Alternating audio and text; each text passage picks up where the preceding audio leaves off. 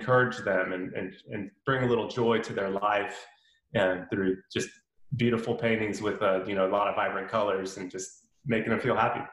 Each paint stroke tells a story.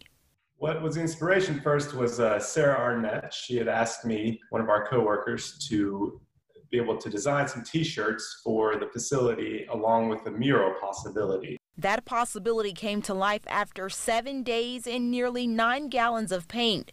Jorge Maturino, a graphic designer with the Cone Health System, filled these empty walls inside of the Cone Health Green Valley facility, dedicated to only COVID-19 patients. So we came up with uh, They Call Us Heroes was one of the main walls. And after that, there are two interactive walls. The theme Hospital Heroes tells the story which begins with the Greensboro cityscape. Part of the inspiration came from a colleague. I decided to take a little twist on that and do the Greensboro skyline. So he inspired me to do that. And on top of the Jefferson pilot, I put Batman's head just popping up a little bit and the, and the sign coming out for the HH, which is a t-shirt design I did that's for the hospital heroes. This mural is located in an area for employees only. They can write their feelings about what it's like when they put on their mask and when they take them off.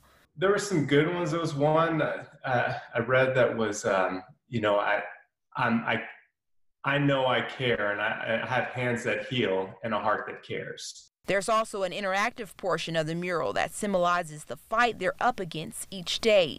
I had a little fun uh, with an interactive wall. Uh, they can hold a shield. It looks like they're holding a shield while there's a, a, shield in the background with the cape flowing behind them, and they're fighting against the bacteria monsters, uh, the, the coronavirus monsters.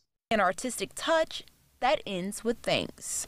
I want them to, to feel just a, a sense of happiness. I want them to be able to just feel like they've done something great and not just think that they're just going in there just to work. That I, I want them to, to feel encouraged.